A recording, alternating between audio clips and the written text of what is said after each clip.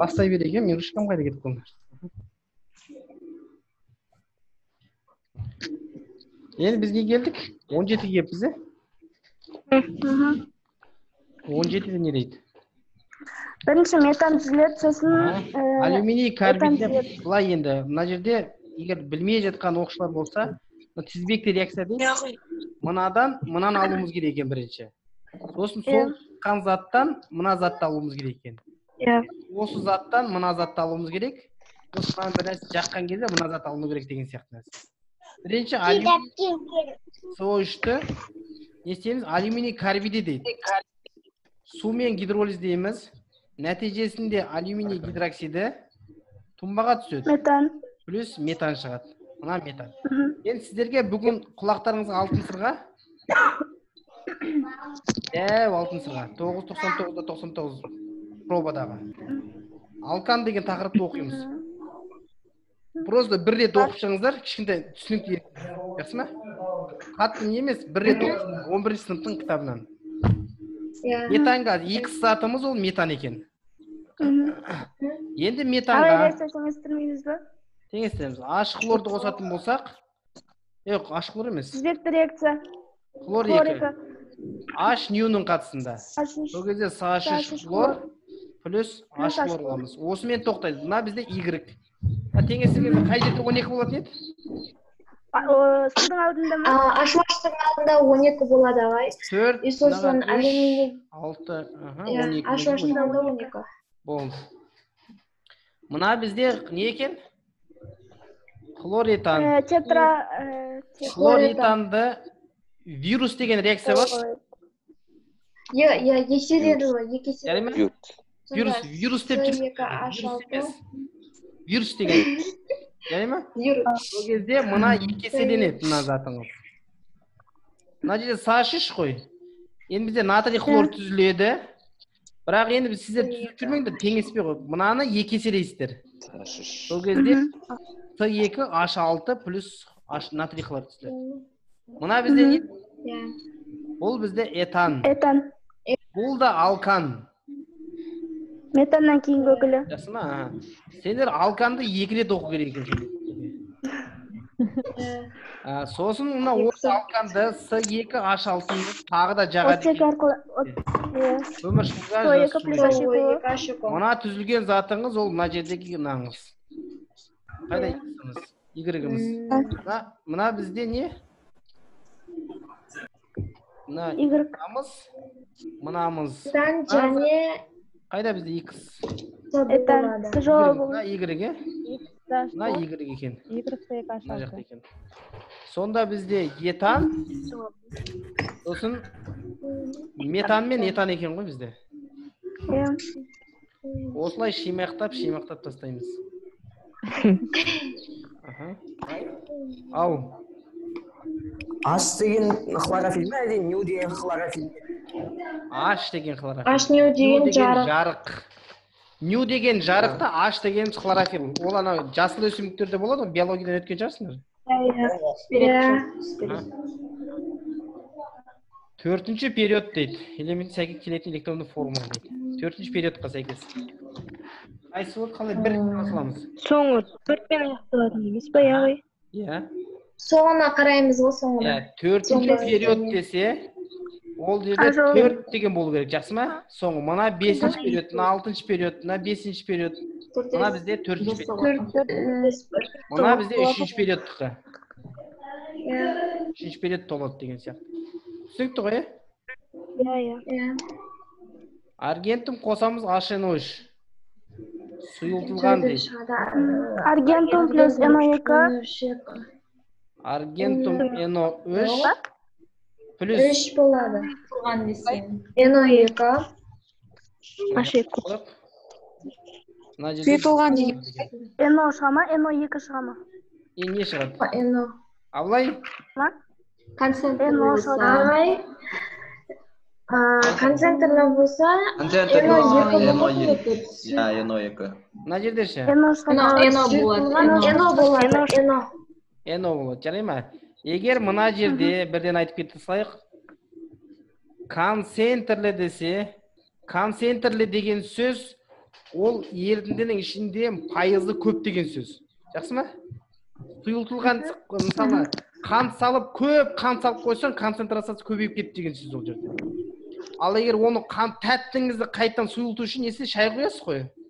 Шайға сұйылтылған деген сол нәрсе. Екеуінің айырмашылығы жарай ма. Енді концентрлі болған кезде сол кезде но екі деген газ түседі мынаның орнына түсінікті енді бізде не дейді hno үш дейді теңестіруіміз керек екен ноль плюс бір плюс бес минус үш үш қоямыз сегіз қояды екенбіз мынаның алдына сегіз қоямыз мынаған төрт қояды екенбіз иә төрт қоямыз мынаған екі үш тоғыз он екі тең болды нөл алты тотықс- тотықсыздандырғыш дейді. Мына нольдан плюс бірге дейін өзгерді. Тотықсыздандырғыш дегеніміз осы екен бізде нөл алты моль қайдан біліп қойдым десеңіздер аргентум нольдан аргентум плюс бірге дейін. Тотығы дәрежесі көтеріліп жатыр көбейіп жатыр. Ол бізде тотық сыздандырғыш болады. Ал мына азот тотықтырғыш екен сонда. Мына тотықтырғыш деген мына. Төрт көбейтеміз алпыс үшке үш үш иә x тең нөл бүтін оннан алты көбейтеміз. А жауабы болады. Төрт көбейту алпыс үш бөлеміз үшке. Елу бүтін оннан төрт. Елу бүтін оннан төрт. Дұрыс па? Аха. Келесі.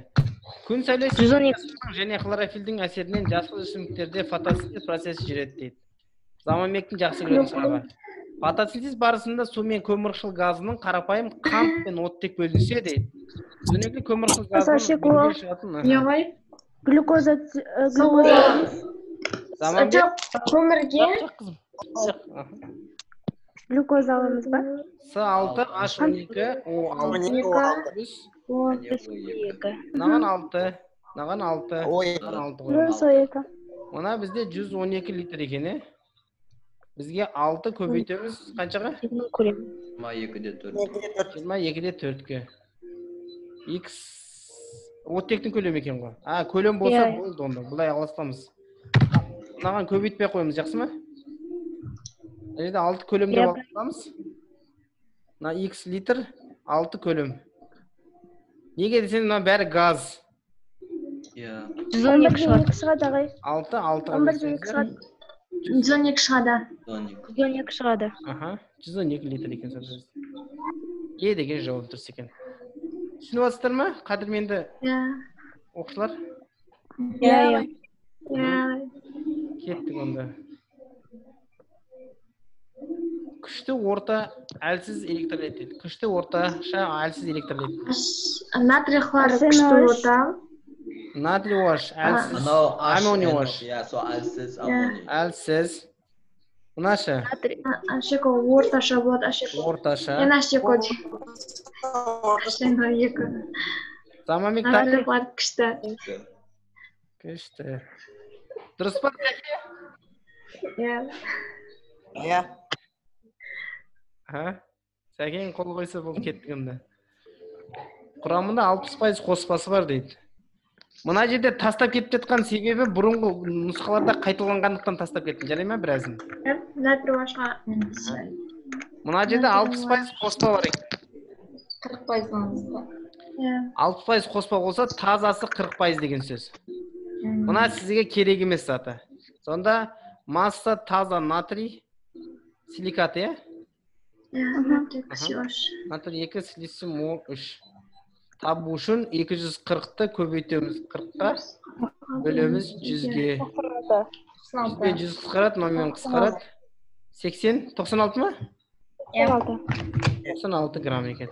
Енді реакция теңдеу жазамыз натрий екі слизим о үш қосамыз аш хлор. Натрий хлор. Түзген не? Түзген қышқылдың қышқылдың массасы дейді.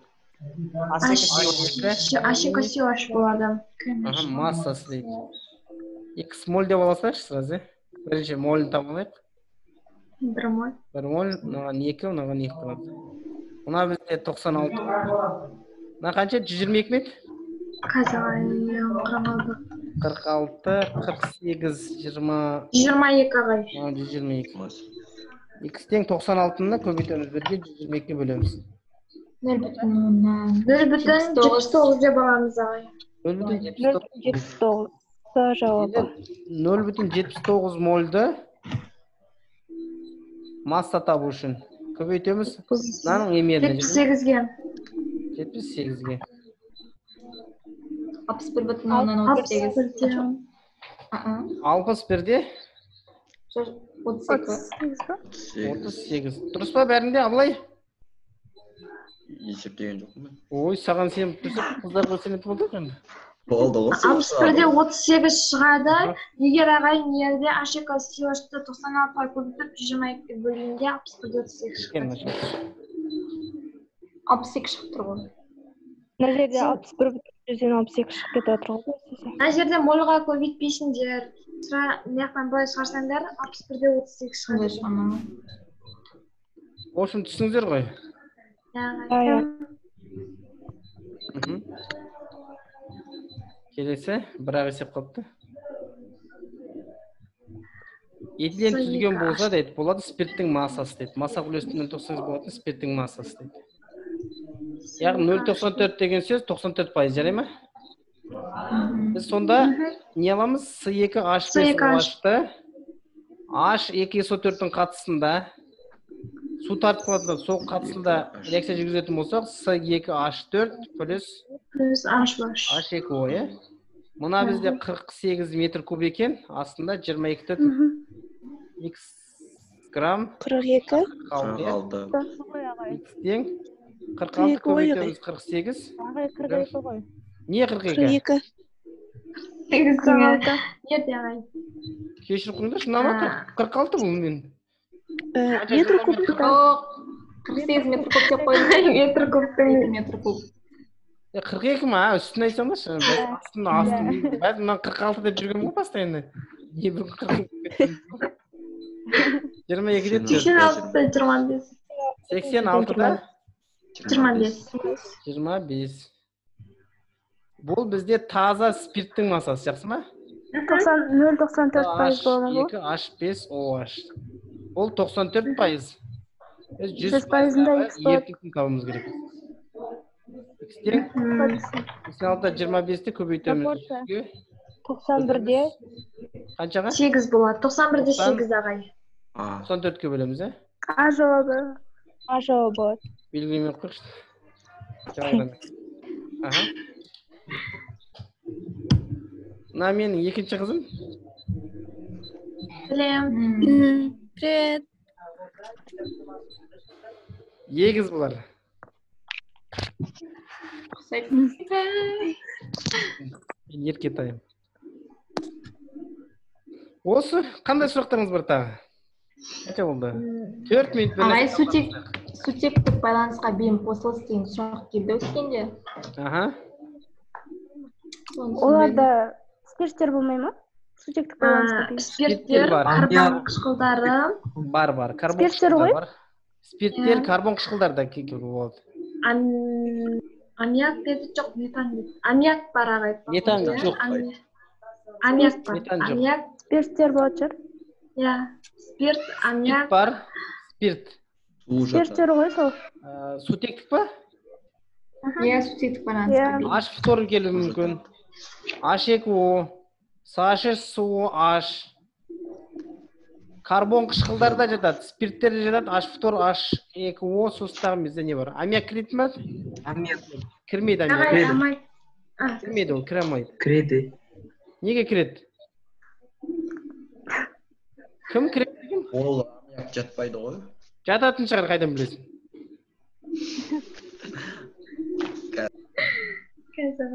Аха. Сұрақ.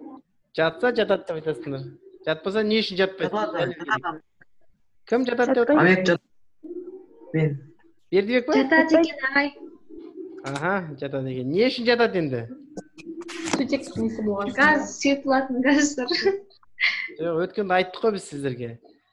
Егер молекулалық сутектік байланыс деген кезде сіздермен өттік пе өтпедік пе егер молекулалық молекула аралық сутектік байланыс деген бар да h фтор h фтор сутектің жанында электр терістілігі жоғары бейметалдар болу керек оттек күкірт азот фтор деген сияқты жақсы ма сол кезде ол не оттек қайда бізде оттек бар екен сол кезде ол сутектік байланыспен байланысады яғни молекула аралық молекула байланысады сосын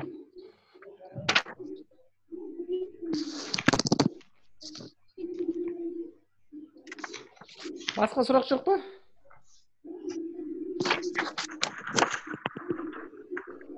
Ағай. Мхм. Бүгін бізге берген максвелл табатын аха. Есепте барлық барлық элементтер бойынша тауып отыр едім ғой мен. Бәрін тек табу керек па? Әлде біреу өте тауып бола ма? Бәрін табу керек бәрін. Мысалы h ба? екі кремний о үш десе мынаныкін жеке табасыз ғой білемін просто сұрап жатырмын просто сұрап жатырмын А. ағай просто сұрап жатырмын болды болды мен сразу айтамын жеке жеке жеке табамын Аха. неге деп сұрақ қою керек та одан неге бәрін тауып беремін мен білемін ғой деп бұл нәрсені қайталау үшін пысықтау үшін чтобы сіз өмір бақи кейін бала шағаларыңызға да спокойно үйрететіндей болуыңыз керек қой қайталау білім анасы репетитке жібермей иә қызым сосын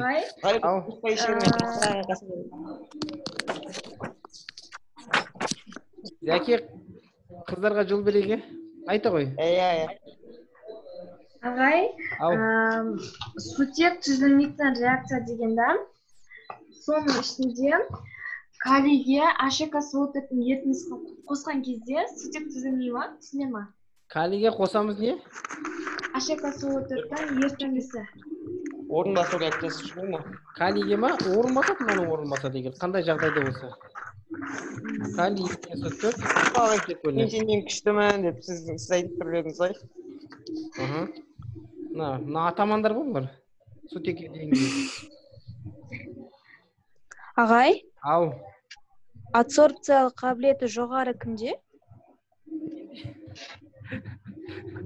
Ол. Сұрақ келе берді ағай солтүстіктің кітабында бар ғой. Көміртек деген тақырыпта бар. Көмір жалпы ана абсорбция деген өзіне не істейді? Сіңіреді ғой. Сіңіретін заттар. Мысалы анау бір уланған кезде ма неше еді ғой? Активированный уголь ше? Сол сол сияқты абсорбция қызметін атқарады да сол кезде өзіне сіңіріп алады өмірмен айтатын болсам. Уланған кезде сол нені ішеді? Активтелген көмірді ішеді. Аптекадан сатып алып соны ішеді да кәдімгі көмір ол со- абсорбция қызметін атқарады яғни. Сол өзіне нені уланған нәрсе немен уланды соны өзіне сіңіріп алады адамның организміне уже зиян тимей қалады да мынау. Көмір өзі сіңіріп алғандықтан ағай біз қоспа есебіне қашан келеміз? Ойбай не деген сабырсызсың? Абылай абылай айтып жіберші қашан сразу бірге қоса салсаңызшы ағай бірінші группаға. Жоқ он тоғызыншы сабақта келесің. Бүгін барды ғой сендерге Ә. абылай иә? Абылай көрмеген ғой фантаз дегенде он тоғызыншы сабақта. он тоғызда қоспа бар. Жылу эффектісіне байланысты бар. Сосын реакция теңдеуі бойынша тағы есептер бар. Үш төрт түрлі тақырып бар сонда шығын бар одан кейін тағы да ол жерде. Сол бәрін Ағай? қарастырамыз сосын сұрақ қалмау керек қой сіздерде. Ау айта ғой мысалы нөлден ә, плюс үшке өзгерсе тотықсыздандырғыш иә. плюс үштен нөлге қарай өзгерсе тотықтырғыш болады иә? Дұрыс аха. Ағай алтыншы сабақ қандай? Күшті. Оттек ау деймін иә? Алтын сабақ. Жоқ өтіп кеттік бесінші сабақта. Ол сутек онда. Төтек қой. Сутек болады ағай бір есеп бар айтайыншы айтыңыз айтыңыз көлемі он бір бүтін оннан екі литр қалыпты жағдайда және бір бүтін оннан бес ацетилен алуға болатын бензолдың массасы с екі h екіден екі h екі три тримерлеу реакциясы ма қалай иә тримерлесін алғашқы мхм үш енді не керек мынаның массасы керек па иә бензолдың массасы жетпіс сегіз. ацетиленде қалыпты жағдай бір көмінен екі литр қалыпты жағдайда Қанша? сосын бір бүтін оннан бес моль он бір бүтін оннан екі он бір бүтін оннан екі мына бізде жеті екі болады қалыпты жағдайда екі тең оны көбейтеміз жетпіс сегізге бөлеміз алпыс жетіде екіге а моль берсе бір бүтін оннан бес деп аласың иә аның жартысы болады өзі он екі шығамыз мына жерде он екі ма массасында он үш жо жоқ қазір ағай он үш шықпай ма? Он үш шығады он үш шықса шығатын шығар енді. Ал он үш екінші шығады ағай он үш жағдайда бол бол бол он үш шығады ұрыспайық мына үш моль болады екінші жауабы мынаның жартысы болады жарай ма? Отыз тоғыз. Болады отыз тоғыз. Ол қайдан алынса мына бір бүтін оннан бес моль десе мына алдында коэффициенттің аласың моль деген жарай ма?